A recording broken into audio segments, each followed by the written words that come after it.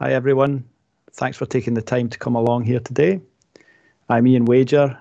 I'm a senior air and noise scientist working in the chemistry department at SEPA. And I've been involved with much of the noise monitoring work SEPA have carried out in the past few years. Uh, and today I'm going to introduce how we at SEPA monitor noise at the Mossmorran complex. In my presentation, I'll initially outline the roles and responsibilities of the various public agencies in relation to noise, vibration, light and health. The rest of the presentation, I'll focus on the noise and vibration monitoring work carried out by SEPA. I'll explain what SEPA mean when we're talking about sound, noise and vibration. Then I'll go on to talk about flaring at the Mossmorran complex and some of the other sources of noise and vibration in the area. I'll discuss how noise and vibration is regulated by SEPA at the complex and what factors we look at to assess whether the site is compliant, including how we currently measure the flaring noise and assess its impact.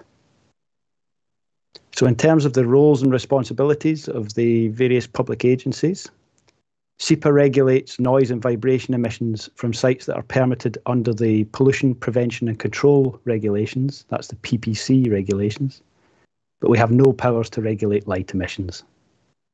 Fife Council, as the local authority, regulates what is termed statutory nuisance, which includes noise, vibration, and light. In practice, this means that they regulate noise issues which aren't covered by the PPC permit conditions issued and enforced by SEPA. NHS Fife's Public Health Department is responsible for the protection and improvement of their population's health and healthcare which means that they are the most appropriate agency to discuss the health effects associated with noise, vibration, and light. So, as mentioned earlier, I'll be focusing specifically on sound, noise, and vibration. So, how do we measure sound?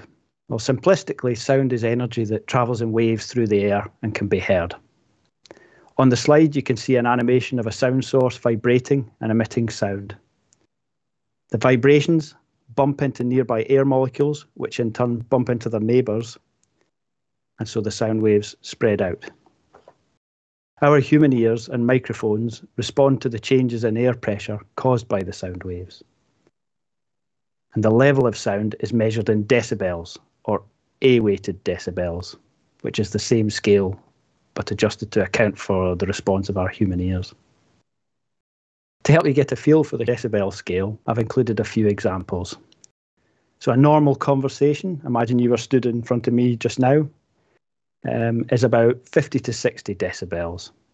A quiet office might be around 45 decibels, and a bedroom at night might be 35 decibels or less.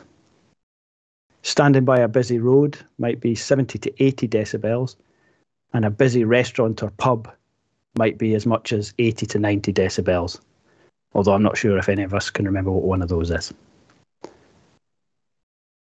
And what about changes in sound level? How do we register these? Well, a 3 decibel change can be te- detected by the ear under normal conditions. A 5 decibel change is clearly noticeable.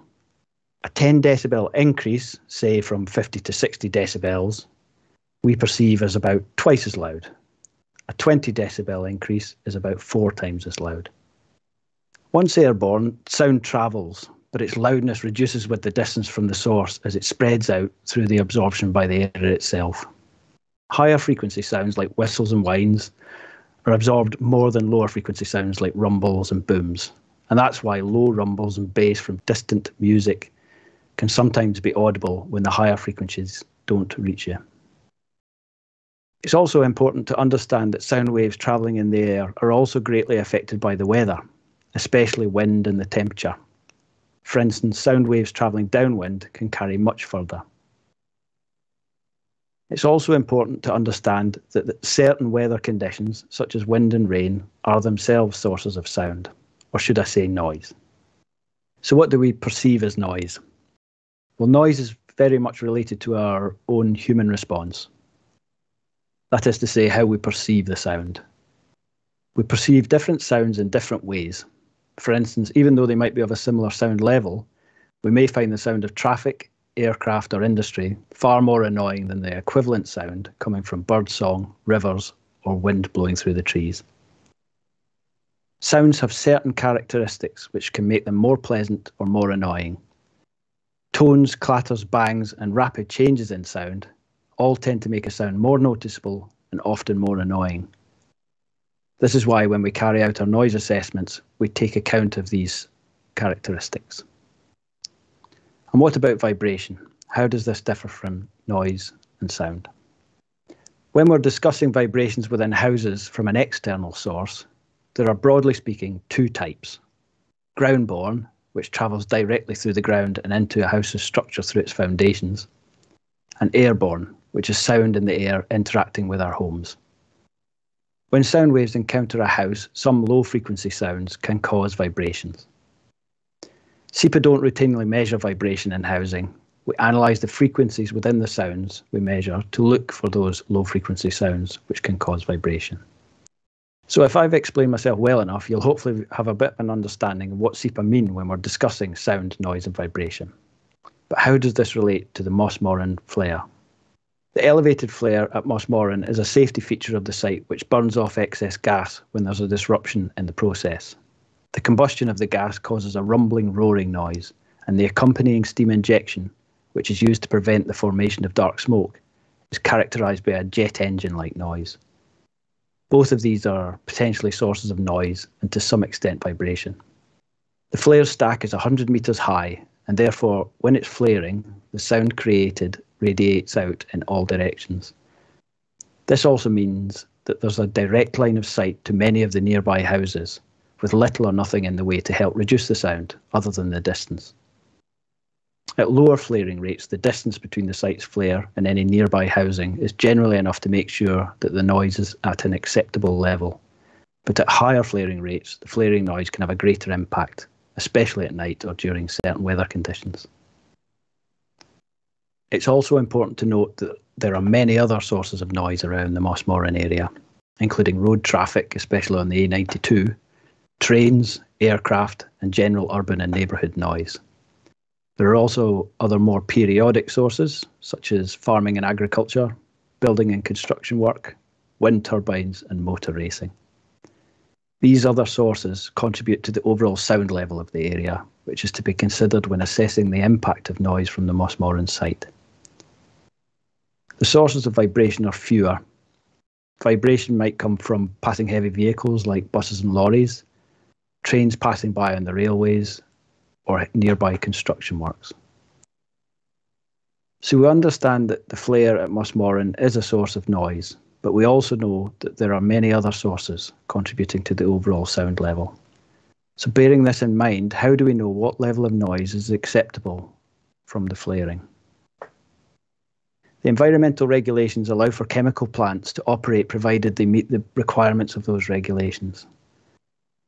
There's a condition in both the Fife ethylene plant and Fife natural gas liquids plant permits, which requires that the operators one, apply best available techniques to prevent noise and vibration emissions, and two, to ensure that significant pollution due to noise and vibration is not caused. SEPA's inspection and noise monitoring programs are designed to assess compliance with this noise condition in the permit. At some sites, a noise limit is stated in the permit, which means that there's a sound level measured in decibels that should not be breached. Setting numeric noise limits like this at nearby housing, however, is not always practical or the best approach to regulating industrial noise, particularly where there are other sources of noise, such as busy roads. A numeric noise limit is also not always necessary and might not be the simplest way to assess compliance or the impact on the local community. Where it is practical to set a noise limit, a large amount of data is needed to understand the local noise environment and to determine an enforceable limit. Whatever noise conditions we include in a permit, on some occasions, people may be able to hear noise that is still compliant. So how does SEPA assess noise? When assessing noise, SEPA consider a number of factors in order to decide if best available techniques are being used and to assess whether any significant pollution is occurring. These factors include noise measurements, observations by staff in the community or at monitoring locations, on-site inspections, desktop inspections, and additional information such as the length of any flaring event. Let's take the recent Fife ethylene plant startup in July as an example of what we do when we measure and assess noise. First, we ensure that our assessments are carried out correctly using appropriately qualified and experienced noise specialist staff using calibrated sound level meters.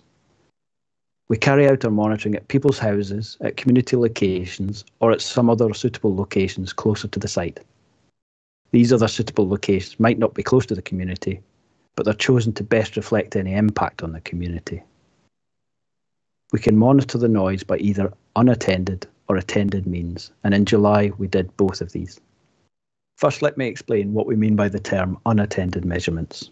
Unattended means that the monitoring equipment is left running continuously, but there isn't a noise scientist in attendance to make observations. SEPA currently have two unattended sound level meters with weather stations deployed at community locations in Lochgelly and Little Raith. Here's a photo of our setup in Lochgelly. The sound level meters are set up to continuously measure sound levels and to take audio recordings. This allows our noise scientists to listen back and analyse where required in order to investigate any noise complaints we might receive. And what are attended measurements?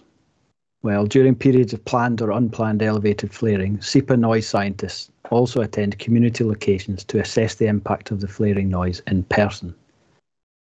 This is a more flexible approach because they can visit the most affected areas. Where possible, we carry out this work at night as it's a more sensitive time because of the risk of sleep disturbances, but we do also undertake daytime assessments where appropriate. When we arrive at a monitoring location, we're using all our senses to take in the situation. But primarily, we're concerned with establishing whether the flaring is audible, and if it is, then how audible and how distinctive. If flaring is audible, and we consider that the flaring noise may be causing an adverse impact, we can quantify the impact using a British standard called BS 4142.